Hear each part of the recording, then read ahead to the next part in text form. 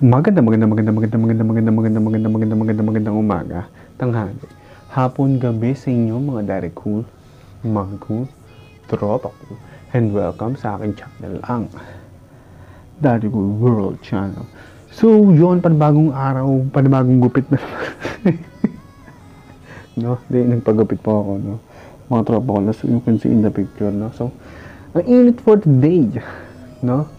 And, ah, di ko alam kung anong meron, no? But, ang sobrang init niya since, ah, parang yesterday pa ata, nung, nung last Sunday, eh, ano pa, ah, whew, ang init talaga, no? So, but yun nga, and, uh, for today, no? Ang pagkikwentuhan natin ngayon is ang mainit-init na parang ah, temperature natin ngayon na be sensitive, mga insensitive, no? Yung mga insensitive na tao, ano po, no?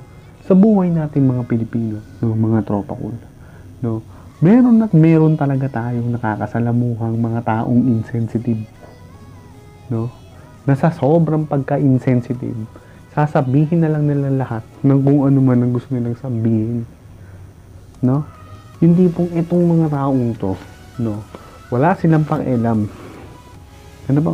Wala silang pakialam.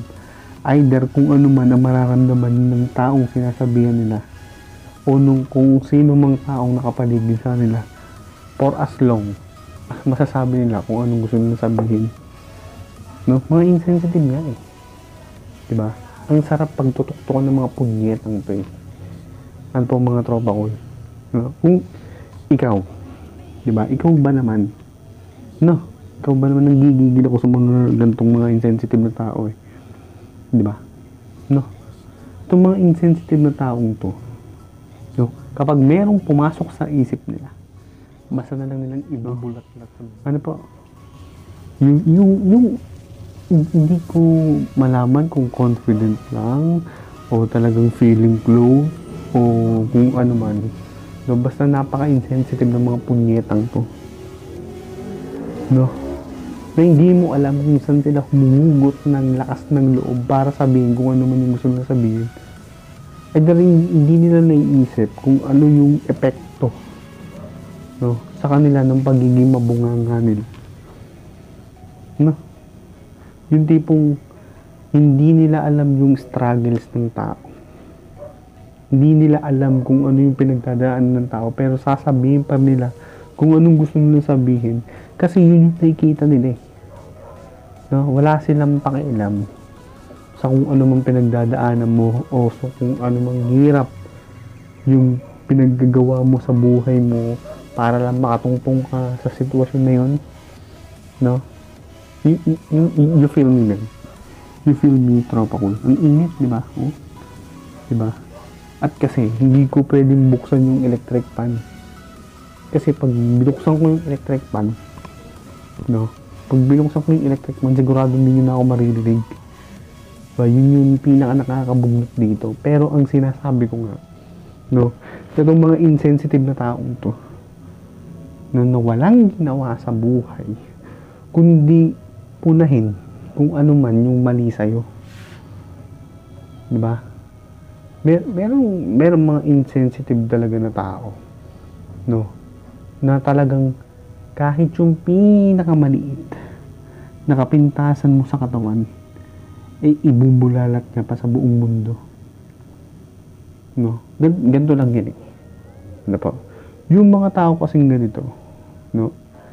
Etong, etong mga mga buwisit na to, itong mga punyetang to. Itong mga to, No, ito yung mga tipo ng tao na napakataas ng ere sa utak. No, kumbaga yung utak nila at uh, 3-4 hangin, 1-4 utak. Minsan di pa gumagana yung 1-8. No, ganun po yung mga utak ng mga buwisit na to. Kaya sa sobrang kahanginan ng mga utak ng mga punyetang to, no, du- kumbaga yung yung nare-receive nila, hindi na pinaprocess ng utak eh. Pinapabayaan na lang, dumiretso sa bibig ganun, ganun, mag, ganun mag-process yung utak ng mga buwisit na to. No? Yung, yung ano eh, nakaka-bad trip dito ng mga tropa ko. Napaka-insensitive nila sa nararamdaman ng ibang tao. Pero putek na yan. Hmm, sabi ko na sa inyo, ma, etong mga taong to, ito pa yung sensitive kapag sila yung sinabihan mo. Yung tipong katiting lang. Hmm? Katiting lang, nang mapansin mo lang, ha? Hmm? Kasi nagigigil ako sa mga to eh. Hmm? Na, na ano ko eh. No, na, nababanarts ako eh. Ha? Yung mo nakakabanats. Ha? Hmm. Itong, itong mga punyat ng insensitive na taong to. Ayaw na ayaw nila nang papansinin mo. Either, regardless ng kung ano mang pakialam sa mundo. No? Yung tipong concern ka lang, wala siyang pakialam. Ang importante, wag mong pakialaman kung ano man ang kapintasan niya. Sila lang, siya lang, ang may karapatang pumuna ng pagkakamali ng ibang tao. No? Ito yung mga tipo ng tao, itong mga insensitive na to, no? Kasi, ano eh, yung, yung tipong pinipinpoint out nila kung ano man yung sa tingin nila, ha? Sa tingin nila na mali. Yung tipong kapag hindi nila ginagawa at ginawa ng iba, mali na sa kanila yun. Diba? Kasi nga, very high standard itong mga buwaka ng inang ito eh. Yung mga buwaka ng verse na to. No, ganun, ganun po yan. No? So, sila, feel nila na sabihin nila kung ano yung gusto nila sab- kung halimbawa. No? No, kung halimbawa, may yung yung tipong hirap na hirap ka na sa ginagawa mo. No? Pero ikaw, ay pero tong taong to, ang sasabihin lang sa'yo wala kang ginagawa. Kasi hindi mo na-meet yung expectation niya sa'yo. No? Sa dami ba naman ng problema mo sa buhay? No? Sa dami ba naman ng kailangan mong isipin? Punyeta, nag-fail ka lang sa kanya ng isa. Dalawa. Sige. 'Di ba? Aminin mo na isa, dalawa, tatlo. Na hindi mo na meet yung expectation niya. Punyeta, wala ka nang ginagawa. 'Di ba? Na, nasasabihin niya harapan sa mukha mo na wala kang kwenta. Nasasabihin niya sa mukha mo na ito ka. No, mga insensitive na tao. Meron pa, itong, itong maraming ganitong mga insensitive na tao, sasabihin niya pa sa harap ng maraming tao. Sa harap mo, sa harap ng maraming tao, di buwisit yung mga ganyan. Pero subukan mo. Na, try mo. Sabihin mo ganito sa kanya. Yung tipong compliment sa'yo, pero iba dating sa kanya, tiyang gala, isusumpa ka niya. Panigurado boy. No, panigurado tropa ko. Susumpa niya yung buong buhay mo. Na sa paningin niya, ikaw na. No? Ikaw na pinakawalang hiyang tao sa buong mundo. Pero siya, no? May nagpapawisan ako sa mga buwaka ng inang to eh. Ha? Yung mga mm, ako, talaga. no, al- alam ko, meron na kayong mga nakasalamuhang gantong insensitive na tao. No? Yung ako personally, hindi ko matandaan pero tay- naalala ko tong pag insensitive na. Meron akong naka-anong dati. No. Meron akong kaklase dati na sa sobrang pagka-insensitive, putek na yan. No, ipinagkakalat pa sa buong klase namin na ganito ako. Hindi ko sasabihin kung ano man yun. No, pero for the sake ng meron lang pag-uusapan, meron lang pagtatawanan, no, isasangkalan niya yung kahihiyan mo para lang matuwa silang lahat. Pero syempre sinong bida-bida? Sila, di ba?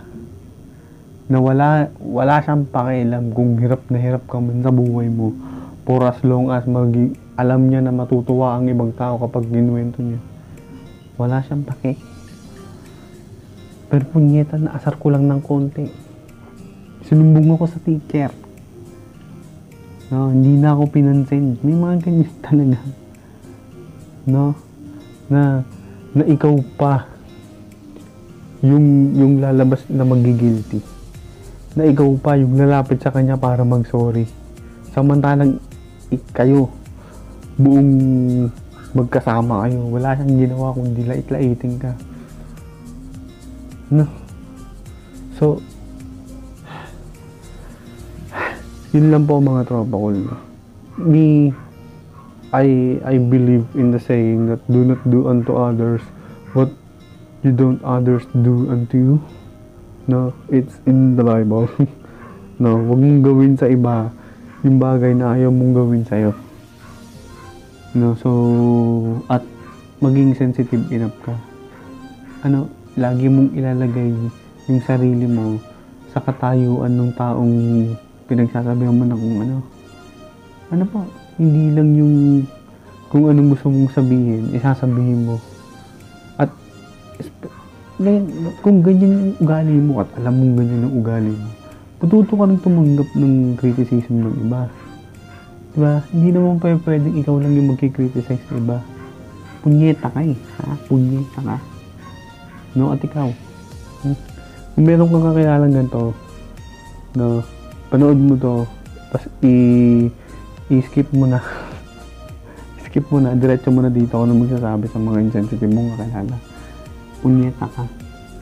Ha? Punyeta ka, magbago ka na. Kita mo yung pawis ko. Ha? Hindi ko na papahabain tong vlog na to. Kasi nababalas ako, nilabas ko lang yung sa, sa loobin ko sa mga insensitibong taong to. Diba? No? So, yon punyeta ka. punyeta kang insensitive kang tao ka. baka, baka ma-off channel ko, hindi. Ah, seriously speaking, mga tropa ko po, no? Ah, if tayo, no, bilang tayo may mga pinag-aralan naman pong ma'am, especially sa mga may pinag-aralan at edukadong tao na pinagmamalaki nila na edukadong tao sila, eh gamitin po natin sa tama ang ating mga pinag-aralan. Be sensitive enough on our words, no? Uh, just think before you click. Hindi. Mag-isip po muna tayo bago tayo magsalita. Ano po? Kasi we'll never know kung sino man yung taong yun. At we never know kung ano man yung kaya niyang gawin kapag nasagad na siya. No, baka yan pa kasi yung ikang pahamak mo. No? At kung ano man ang mangyari sa iyo, wag naman po sana. But uh, don't be confident enough to say what you want to say. And uh, maging ano pa rin tayo, maging ano ba to?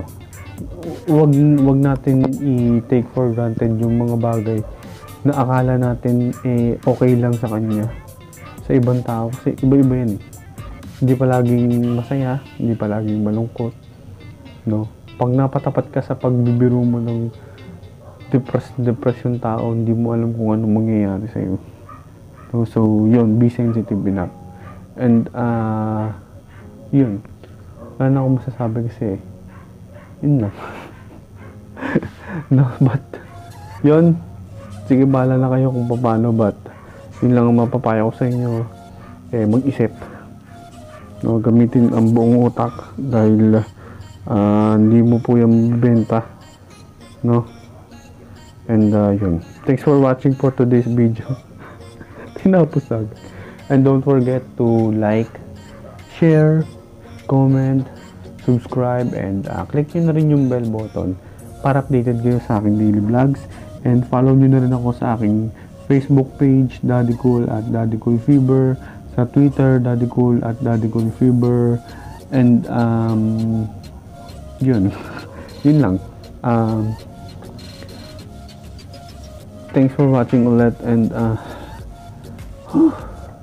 I I already released my stress no thanks thanks for this vlog and uh, nakaka-stress relief siya and yun see you ulit sa mga makabuluhang uh, topic and uh, and abangan niyo po yung aking uh, parating na portion. Eh hinahanda ko na po siya. Hindi ko lang po alam kung paano kasi yung wala pa akong videographer. Na nawala na po yung aking videographer.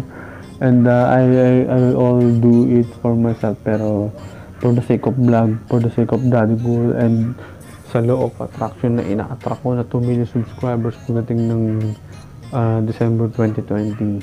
Yan, ina-attract ko siya. Toyota Innova, Daddy Cool Fever, lalaganap. Yun. Yun, see you when I see you. And palaganap natin ang Daddy Cool Fever. Bye-bye. Simba! Ay, ang galing. Ka- Kakuli ko pala yung ano, yung background. Ang ano. Wow. Bye-bye.